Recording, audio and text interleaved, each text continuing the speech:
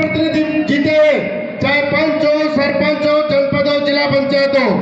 आने वाली विधानसभा के अंदर कितने लोग ऐसे हैं जो मध्य प्रदेश से अपना विधायक बंदेरा चुन के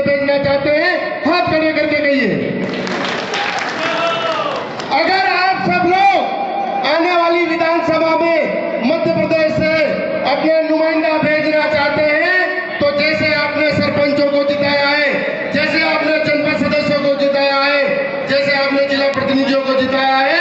वैसे आपको पूरी ताकत से समाज के पीछे खड़ा होना पड़ेगा, तब जाके हम मध्य प्रदेश के अंदर अपना विधायक भेज देंगे। दो विधायक और एक सांसद।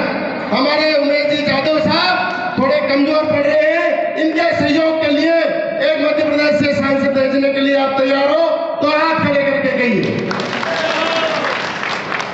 आदरणीय सांसद महोदय, मध्य प्रदेश की विधानसभा में हम आपको दो सदस्य देंगे, लेकिन आपको थोड़ा हमको सहयोग करना पड़ेगा ताकि उनको टिकट दिला सको तो हम उनको आसानी से जिता के भेज देंगे। दूसरा निवेदन, आदरणीय उज्जैन के सांसद महोदय यहाँ बैठे हुए हैं। हमारे समाज की उज्जैन के अंदर सबसे महत्वपूर्ण मांग है कि यहाँ पे एक सामुदायिक भवन, सांस्कृतिक भवन बने।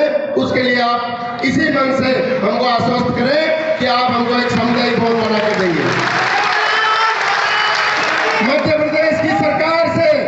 मध्य प्रदेश की सरकार से माननीय शिवराज सिंह जी चौहान से पिछले 31 अगस्त 2021 से जो माननीय शिवराज सिंह जी चौहान ने हमारे सामने समाज के लोगों को बुला के जो बात कही थी, माननीय फिरोजा जी, हम आपसे निवेदन करते हैं, आप उनकी पार्टी के सदस्य हैं, उनके जनप्रतिनिधि हैं, उनको याद दिला दीजिएगा मुख्यमंत्री जी को कि आपने 31 अगस्त 2021 को मध्य प्रदेश में विमुक्त घूमर के अर्थ घूमर कर पूर्ण मंत्रालय का दर्जा देने की बात करी थी वो अभी तक नहीं हुआ है अगर माननीय फिरोजा जी शिवराज सिंह जी को याद दिला दोगे तो ये घुमक्कड़ जाती है बंजारा समाज को।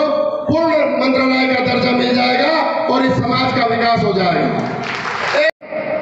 मुख्यमंत्री जी, एक हमारे अभिकरण के अध्यक्ष राज्य मंत्री दर्जा नियुक्त करते हैं। हमारे संजय भाई बैठे हुए हैं, ये हमारे राज्य मंत्री के दर्जा प्राप्त अध्यक्ष रहे हैं। आप सब लोग ये चाहते हो कि मध्य प्रदेश के मुख्यमंत्री जी मुश्किल से दो या पाँच